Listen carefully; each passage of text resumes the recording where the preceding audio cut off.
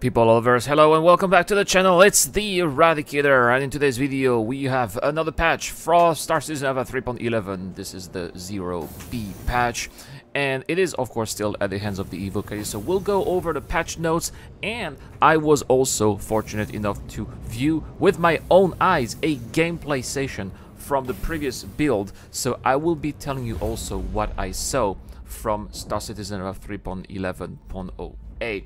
But here we go. Let's have a look at some of the patch notes here. First, we'll talk about the bug fixes because it's always interesting to check out what was fixed uh, and what was worked on by the devs between yesterday and today. Apparently, the interiors of the New Babbage trains should no longer be missing. Uh, there was a problem where the entire trains at New Babbage was entirely made of glass, which I'm sure must have been very interestingly looking uh, and very futuristic, but that was not what was intended. Players should no longer be ejected from their ship after initiating a quantum travel around New Babbage and microTech, which is uh, obviously a, a, good thing here. That's one game-breaking bug that is already gone. Space, space station hubs should no longer be missing atmosphere atmosphere.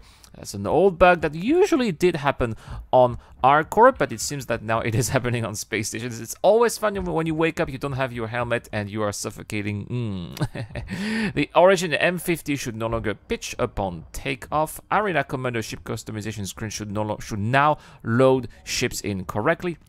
They fixed a Z fighting on the floor of Area uh, 18 Habs. I have no idea what that is, but yeah, it's fixed, right? The interior of Hab 02 in Hab C of GrimHEX should no longer be missing. They fixed a missing table and chair in the lower deck of the 600i, fixed an issue that would cause the player to fall through the planet geometry when client FPS is low. That's also good. We don't want that, obviously, right? So it's, it's always terrible, especially with new players. that have no idea what is going on. Fixed a mission ground collision of the planned display around Wally's Bar in New Babbage. They also fixed a missing collision with the waterfall walls around Wally's Bar at New Babbage.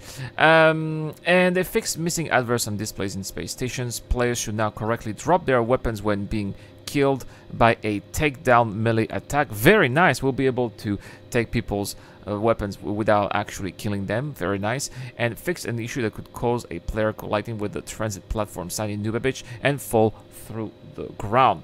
Okay, six client crashes, two server crashes. That's quite a lot. And so, uh, here is what was done here with this patch there. Obviously, uh, not all of the features are in there. They're still testing the front-end refactor, the new cargo decks, the new space stations layout, the BR2 shotgun, and the grenade launcher as well. Uh, so here, uh, apparently on Hurston, they added they added Hurston material variants for the Hurst for the Hurston outpost exteriors. Mm -hmm. So maybe when you are going on outposts on Hurston, you will have more of a Hurston vibe. Okay, that's very cool. As far as ship and vehicles go, they've increased the Constellation thrusters in the atmosphere to help with angular rotation and slightly reduced its linear drag for a small acceleration increase. There's also a balance pass for the shotgun and the Gemini SMG to increase spread to increase spread and reduce its damage multiplier. Uh, next, when it comes to known issues, there's still a couple of them that uh, that basically uh, are a little bit annoying here. So missiles and countermeasures are undergoing a small update that isn't complete yet, so we know that players are able to click play for older build before launcher updates to newer builds causing a version mismatch. How is that even possible? I have no idea, but launcher may be slow to detect a new version that if available is available. Verifying files may force it to detect a new version. That is something that I, that's not a new issue. This is something that I've had for a long time. Call elevators buttons in spaceport hangars may not summon the elevator. Uh, this one is, uh, is is quite annoying indeed. Then it's gonna have to be fixed. Oh, listen to that, guys. Borehole Station is missing in Levski. How are all of these locations and places, and how do they end up missing? I have no idea how that is possible. Is it because, once again, is it the same issue that caused locations to be to be coming two or three minutes after we arrived in 3.10? Is it now uh, the fact, I mean, do we have so many entities in the servers that now the servers just won't load them? Could be possible too. Spawning with a male character can cause player to have zero health and unable to move. Ouch. Players will not receive any damage from any weapon in-game. Great, so we are in God mode now.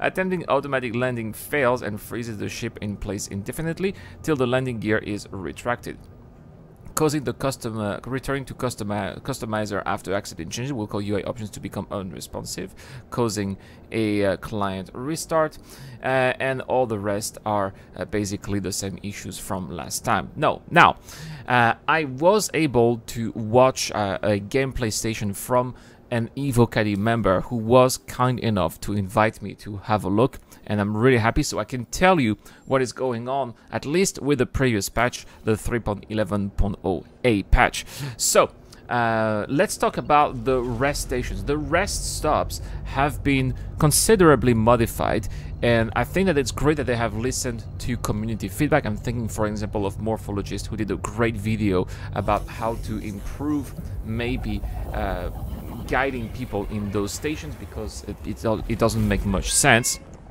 So now the rest stops have three levels. So you have a level for which is called the Galleria, which is basically like the shopping mall for the rest stops. You have a level for hubs, which is where obviously you would respawn, and you have a couple of shops there, like mostly some some some convenience stores, like like some food stalls, and the other level is going to be as well the um, the the cargo decks. I think I, I, I don't remember if there's also a level for hangars or, or not. Maybe I think it's just the, the regular elevator that you have to take for for the hangars. So that's a little bit different.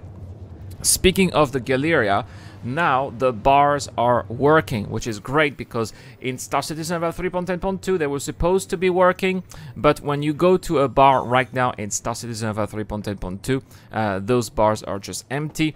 In 3.11 they have Patreons, they have working bartenders, and they have music too and that is a nice little touch if you want to get a drink after a successful trade. Speaking of trading, I also had a look at the cargo decks. Uh, right now, the cargo decks are... Um, there's not much to do in the cargo decks, to be frank, but again, they did say that right now this patch does not contain all of the intended features, which will be uh, added uh, partially, you know, as, as testing goes by, so maybe there will be, but right now, I mean, you can't even uh, you can't even trade. Uh, it's supposed to be like a, like an admin. Like like the idea probably is to replace the admin in those stations with those cargo decks. But right now, uh, the screens for trading are not working. You cannot take any missions from those cargo decks right now. There there are no missions available. Uh, you do have uh, a shop. There is a shop where you can buy clothing, but these are basically the same type of clothes that you find at Tammany and Sons, at least from what I have seen. And I suppose that uh, I would say that maybe the they say that the testing focus right now are the new cargo decks. I suppose that they want to make sure that there are no collision issues and people don't clip through walls and that the NPCs are working. There are lots of NPCs. Uh, those cargo decks definitely look like busy places for sure. But right now it's it's it's, it's just pretty much bare bone and there's not much happening and not much to say about those cargo decks in case you were interested. Now the last thing I want to talk about is Constellation Taurus. Uh, a lot of Evocatis have reported sites of texts uh, mentioning the constellation Taurus. People who own a constellation Taurus uh, have not been able to fly but they have been uh, seeing uh, interfaces in their mobiGlas saying that they do have a constellation Taurus. So could it be that the Constellation Taurus is coming in Star Citizen Alpha 3.11 as a surprise ship? After all, that would not be so surprising because what is the Constellation Taurus? It's the car cargo variant of the Constellation series. They also, did you see that they made a little adjustment here for the Constellation series too? So maybe that could be a sign that something, uh, something is up here regarding the Constellation Taurus. Another sign that it might be coming. And after all, right, what do they have to do? They, they just remove part of the interior and replace it with a cargo hold to have, I think, a 160 standard cargo unit for a Constellation Taurus. So maybe we should expect it to come in Star Citizen Alpha 3.11 and that's what I've seen so far uh, with uh, this patch. I haven't been able to see how the grenade launcher is working because simply the player I was uh, I was watching had no idea where to buy it so maybe it's not even in the game right now. Anyway guys that's all for this video. Don't forget that this month we've got amazing giveaways. I'm giving away a Talon Shrike with lifetime insurance thanks to Buzz69 who kindly decided to support this channel once more during this month and On top of that, I'm also giving away a rock with Cutlass Black and lifetime insurance too. All you have to do to catch on winning is to be a subscriber of the channel and comment to any videos during this month. The winner will be announced early October. Good luck to everybody out there. That's all for this video. Thank you so much for watching. This is the Eradicator and I'll see you guys later.